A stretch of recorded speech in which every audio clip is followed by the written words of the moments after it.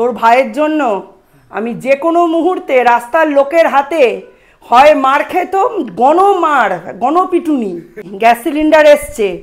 Chain দিয়ে এই নোটগুলোর ওপরের ভাগটা বেরিয়েছে। কাপ মাজতে মাজতে হঠাৎ করে কাপের হ্যান্ডেলটা হাত থেকে ছিটকে গেল সাবানে। গিয়ে এই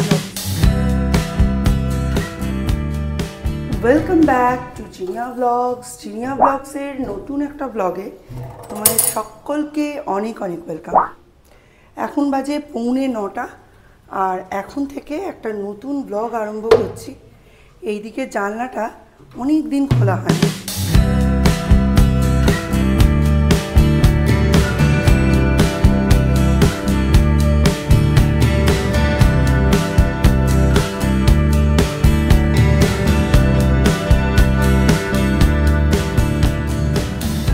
কাল রাতে এসে গাছগুলোতে ভরপুর জল দিয়ে গেছি।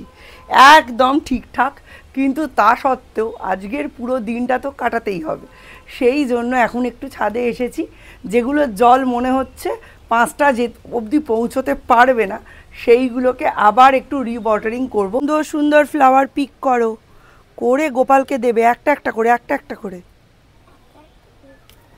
ওয়াও এগুলো ফলগুলো নিয়ে গোপালের কাছে দেবো গোপালের কাছে গিয়ে কি করবে?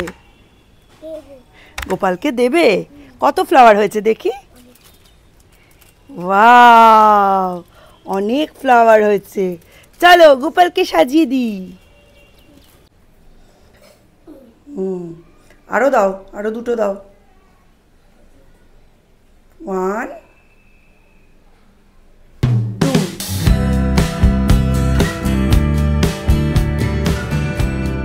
তোর ভাইয়ের জন্য আমি যে কোনো মুহূর্তে রাস্তার লোকের হাতে হয় মার খেতাম গণমার গণপিটুনি এনে, তোর হাত খরচা?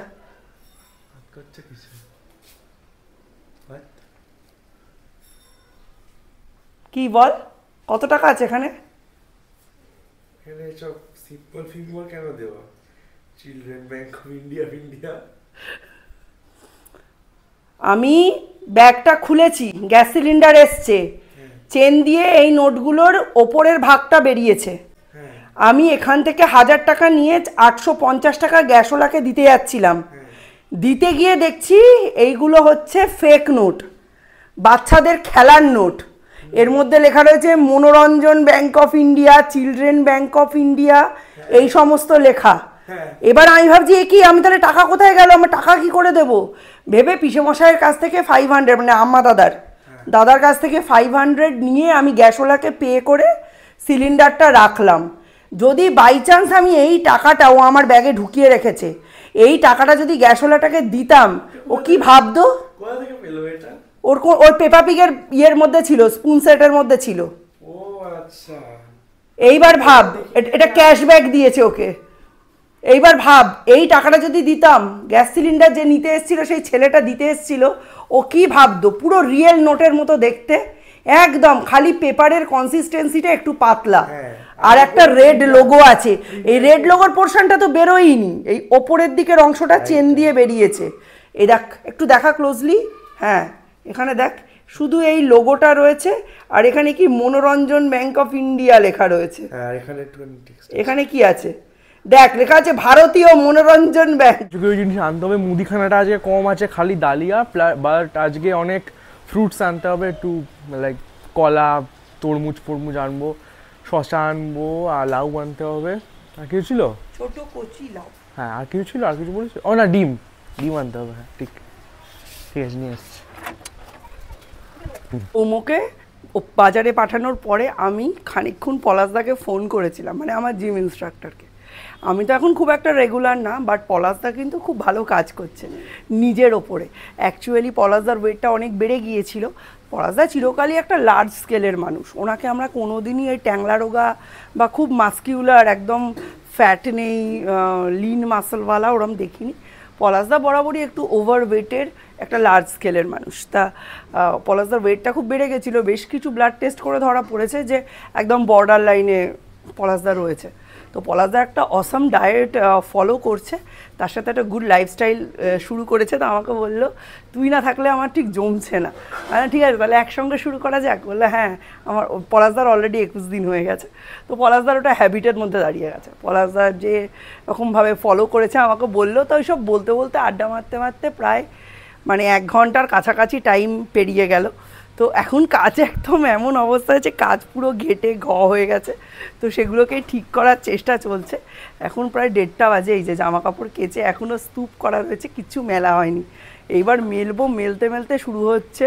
ওই ডায়েট চার্ট নিয়ে ভাবনা চিন্তা চলছে মানে দাদা কীরমভাবে করেছে, আমি কীরমভাবে করব। ব্যাস, মাথা পাগল হয়ে গেল। এই একটা লোকের জন্য যদি ট্র্যাকে ফেরা হয়, একজনের জন্যই হয়, কিংবা কেবলমাত্র নিজের জন্যই হয়। কাপ মাজতে মাজতে হঠাৎ করে কাপের হ্যান্ডেলটা হাত থেকে ছিটকে গেল সাবানে। গিয়ে এই অবস্থা। উফ, কি রক্ত পড়ছে। এই হচ্ছে এখন অবস্থা। এ এখন পরিষ্কার করতে আমার কতক্ষণ লাগবে তার কোনো ঠিক নেই।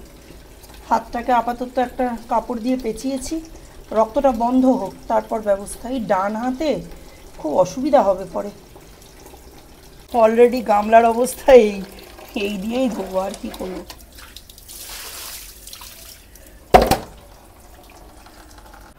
সব থেকে বেশি সমস্যা হবে এই ব্লগ করতে, জানো? এই ডান হাতে মোবাইল ধরে ডান হাতের থামটা দিয়েই তো আমরা প্রেস করে ক্যামেরাটা চালু করি, ওটা করতে পারছি না। খাওয়া দাওয়া তো বাদই দাও খাওয়া দাওয়া তো অসুবিধা হবেই। সমস্ত কাজের হাতই তো হচ্ছে ডান হাত। এটা তো অসুবিধা হবেই। অলরেডি ডাল, মাছ কড়াই ছিল, আমি এখন আলু পটল কেটে আলু পটলের তরকারি বসালাম। এই হাত নিয়েই কিচ্ছু করার উপায় নেই, করতে হবেই। একা ঘর, দুদিন অন্তর অসুস্থ হলে জামাই আদর করে কেউ বাড়িতে পুষবে না। একটা কথা আছে, বুঝলে? ভাত দেয় না ভাতারে ভাত দেয় গতরে এই হচ্ছে আসল কথা। শুনতে খারাপ লাগলেও পুরনো দিনের মানুষদের কথা খুব একটা কিন্তু মিথ্যে হয় না। এইখানে দেখো ব্যাক ক্যামে এই যে আলু পটলের তরকারি এখানে ফুটছে। আর রান্না বান্না সমস্ত কমপ্লিট হয়ে গেছে, দেখাই। সৌম্য আমার জন্য কি বাজার করেছে। চলে এসেছি আমার ডাইনিং টেবিলের একেবারে কাছে এক্ষুনি। ভাত, মাছের ঝোল আর ডালটা এখানে আনলাম। এখানে রয়েছে ফল, এখানে রয়েছে ডিম। এই ফল, ডিম আর ডালিয়া, ওই যে ডালিয়া, এই এনেছে আজকে সৌম্য আমার জন্য।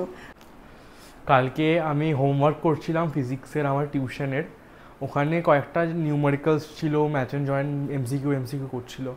একটু হার্ড মানে একটু হালকা হার্ড লাগছিল, তো করলাম পুরোটা লাইক পুরোটা করতে মোটামুটি এক, দু ঘণ্টার মধ্যে হয়ে গেছিল। তারপর দেখছি পাশে লেখা JEE JEE two thousand two JEE nineteen ninety seven এরকম করে করে লেখা হয়েছে। আবার জেই কোয়েশ্চেন সলভ করলাম এগুলো। মানে আমি আগে দেখিনি জেইর কোয়েশ্চেন ছিল ওখানে। আমার মনে হচ্ছিল, বাবা জেইর কোয়েশ্চেনও সলভ করে ফেললাম। যদিও আমার একটা কোয়েশ্চেন করতে মোটামুটি চার পাঁচ মিনিট লেগেছিলো জেইতে ম্যাক্সিমাম টু ম্যাক্সিমাম তিরিশ থেকে পঁয়তাল্লিশ সেকেন্ডের মধ্যে করতে হবে এক একটা। পঁয়তাল্লিশ সেকেন্ডও বেশি তিরিশ সেকেন্ডই যাই হোক ভালো লাগল বেশ। মানে বেশ কোয়েশ্চেন হ্যাঁ। জেইর কোয়েশ্চেন সলভ করলাম এটা ভালো লাগল বেশ করে। সে যত সালেরই করিস হ্যাঁ। Ninety six ninety six ninety seven অনেক বছর ছিল। Ninety six two thousand two মিলিয়ে মিশিয়ে ছিল সব। নাইনটি এইটে আমার মাধ্যমিক।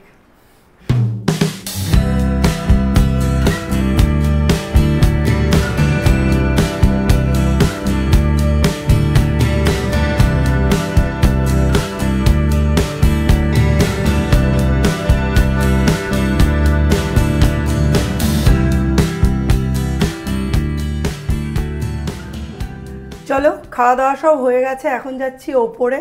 এই হচ্ছে আঙুলের কন্ডিশন কি করে দেখাই বলো তো? এখন খুলেছিলাম, এখনও দেখছি ব্লাড বেরোচ্ছে। তো সৌম্য আবার এটা দিয়ে বেঁধে দিল। ব্যান্ডেড দিইনি। ব্যান্ডেড দিলে না জায়গাটা ঠিকমতো হিল হবে না। ওই ডেটলে একটা কটনকে চুবিয়ে ওখানে দিয়ে তার উপর কাপড় দিয়ে বেঁধে নিয়েছি। রক্তটা কমে গেলে রাত্রির থেকে ওষুধ দিতে পারব। আর রান্নাবান্না ম্যাক্সিমাম রাতেই করব। এখন তো আমি আমার খাবার, ওদের খাবার সব বানিয়ে নিয়েছি। বাট কাজের হাত তো এই হওয়াতে একটু অসুবিধাতেই পড়ে গেলাম। যাই হোক দেখা যাক রাত্রিবেলা। মিস্টার বিশ্বাস একটু হেল্প করবেন, হয়ে যাবে। আর বিকেলে জল টল দিতে হবে। এখন ওই যে কৈলাসে শুয়ে আছে আমার বড় ছেলে আর ছোট ছেলে, সেইখানে যাচ্ছি, একটু ঘুমোবো। একটু টায়ার্ড লাগছে, একটু অনেকটা ব্লাড বেরিয়ে গেছে তো, একটু টায়ার্ড লাগছে বাট বেশ কয়েকদিন আগে ওই একবার যখন টিনে হাত কেটেছিল তখন টিটেনাস নিয়েছিলাম, আর এবার তো আর টিনে নয়, কাঁচে মানে সিরামিকে হাত কেটেছে।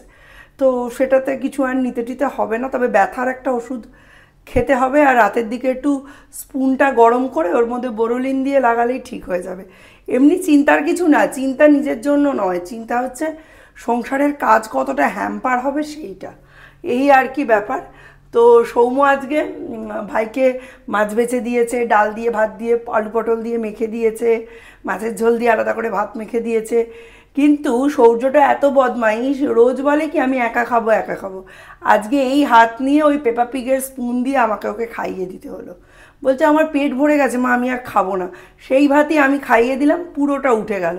তো আমার ভাবি, আমার মারা কি আর এমনি বলতো? এইবার ভাতগুলো কার পেটে গেল শুনি? কোন পেটে জায়গা ছিল? মারা খাইয়ে দিলে বাচ্চারা একটু ভালোই খায়, তাই না? তো চলো ঘুমিয়ে পড়ি, বিকেলবেলা দেখা হবে ছাদে গিয়ে। আমার ভ্লগিংয়ের লাইফস্টাইলে মানে দু বছরে, এই মনে হয় প্রথম যে আমি এভাবে শুয়ে শুয়ে ভিডিও করছি। হাতে প্রচণ্ড ব্যথা, আর সৌর্য এখন প্রত্যেককে ভয়েস পাঠাচ্ছে। যে ওর মায়ের নাকি হাত কেটে গেছে। ও সকলকে বলছে অ্যাকচুয়ালি দিদিকে ভয়েস পাঠাতে নতুন নতুন শিখেছে তো? করছে। সোমদত্তাও ফোন করেছিল, জয়ন্তীও ফোন করেছিল। আমার নিজেরও খুব খারাপ লাগছে। পুচকিটার জন্মদিনে যেতে পারলাম না তার জন্য। সৌর্যও গেলে খুব মানে এনজয় করতো বাট সৌর্যেরও পেটের কন্ডিশন ভালো না। আর আজকে আরও একটা ঘটনা ঘটেছে যেটা তোমাদের বলা হয়নি। হট করে মিস্টার বিশ্বাস ফোন করে কথাটা বলাতে না মনে পড়ে গেল। সেটা হচ্ছে, সকালবেলা জামা কাপড় আয়রন করতে গিয়ে মিস্টার বিশ্বাস খুব বাজে রকমভাবে কারেন্ট খেয়েছেন এবং জায়গাটা স্কিনটা পুড়ে গেছে। এত বড় একটা দুর্ঘটনা ঘটেছে। তারপরে আমার সাথে এরকম হলো। স্বাভাবিকভাবেই আমরা না আজকের দিনটা একটু আতঙ্কে আছি। বলা যায় না মানে কোনো কোনো দিন এরম হয়, শুরু, শেষ, এই সময়টা খুব একটা ভালো যায় না। আজকের দিনটা আমাদের দুজনের, কর্তাগিন্নির খুব একটা ভালো যায়নি। ভগবানের কাছে প্রার্থনা করি বাচ্চাদের যেন কোনো কিছু না হয়, বাচ্চারা যেন ভালো থাকে। সৌম্য পড়তে গেছে অরিন্দম স্যারের কাছে। ওখান থেকে আসবে, আটটা বেজে গেল এখনও কেন এলো না বুঝতে পারছি না। কারণ অরিন্দম স্যার সাড়ে পাঁচটা টু সাড়ে সাতটা। সাড়ে সাতটাটা কোনো দিনই সাতটা তেত্রিশ হয় না। অ্যাকচুয়ালি উনি একদম মানে খুব টাইম মেনটেন করে পড়ান। সাড়ে পাঁচটাটাও যেমন পাঁচটা পঁয়তাল্লিশ, পাঁচটা তেত্রিশ হবে না। তেমনি সাড়ে সাতটাটাও, সাতটা তেত্রিশ, সাতটা পঁয়তাল্লিশ হয় না। কেন এত দেরি করছে সৌম্য আমি ঠিক বুঝতে পারছি না। তো আসলে অবশ্যই জিজ্ঞাসা করব। আর আমরা তো যাইনি, বুঝতেই পারছ। সৌর্যকে নিয়ে এখনও অবধি দোতলাতেই আছি। মিস্টার বিশ্বাস একটু পরেই চলে আসবেন। নিজেকে দেখেই অসুস্থ অসুস্থ মনে হচ্ছে। তার ওপর আজকে খাওয়া দাওয়ায় একটু টান পড়েছে তো, ওই জন্য আরও শরীরটা ঝিমিয়ে গেছে। তো চলো আজকের মতো ব্লগটা আমি এখানেই শেষ করে দিচ্ছি। দেখা হবে নতুন একটা ব্লগে। ততক্ষণের জন্য টাটা, বাই বাই।